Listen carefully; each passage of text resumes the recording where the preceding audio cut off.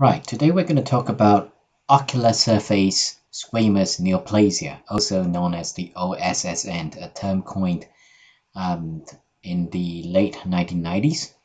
So it covers a um, spectrum from things like carcinoma in situ to invasive uh, squamous cell carcinoma.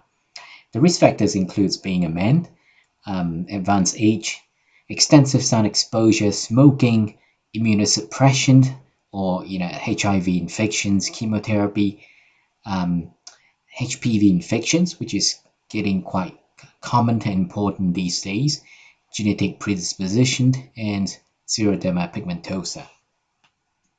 The differential diagnosis in OSSN is quite broad, including benign conditions like papilloma, which can be associated with HPV infections, melanoma, amelanotic melanoma, pterygium, pseudopterygiums, uh, Bitot spots from vitamin A deficiency, or keloid scar.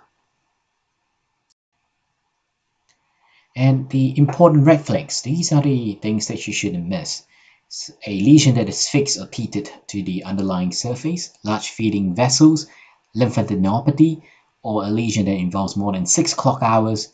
And there are three clinical forms of an OSSN a papilla form, which uh, you may be able to see in this picture here.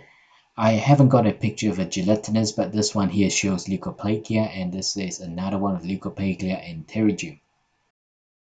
Conventionally, um, we understand that about 2 to 5% of pterygium show some evidence of OSSN, but a report from Brisbane in Australia shows a prevalence of just under 10%.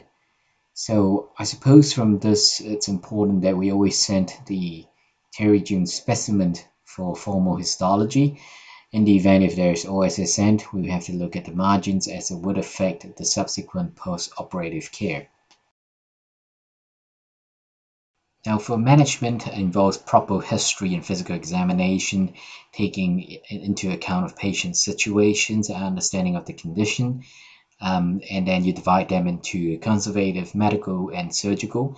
If the lesion is less than two clock hours or so it's, and no red flag signs, it's reasonable to just watch um, every few months with photographs. And there is also a role for medical treatment. Uh, that includes, you know, if the lesion is huge or patient is not suitable for surgery, chemo reduction is an option using interferon alpha 2b, um, mitomycin C, or even 5FU. Um, the treatment regime is as above. Um, normally we do two to four times a day, uh, classically four times a day if patients can tolerate. And interferon, you might do it for at least two to three months, whereas mitomycin C for three cycles, one week on and one week off. Surgical treatment is, uh, involves no touch technique where all the instruments used to excise the tumor were then removed and try to have minimal touching of the lesion. We do double freeze thaw, that means using cryotherapy along the base and the margins, and it's important to send the specimen off in the right orientation.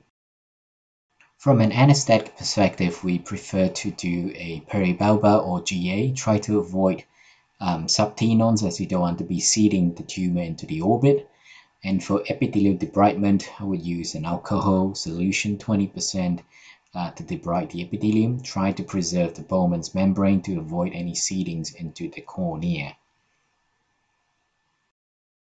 And close the wound with uh, primary closure. Um, avoid getting a graft if you're not sure about the margin, or you could use amniotic membrane and fibrin glue. For much deeper lesion, especially those invading into the angle or uh, intraocularly, uh, you know, you should consider enucleation.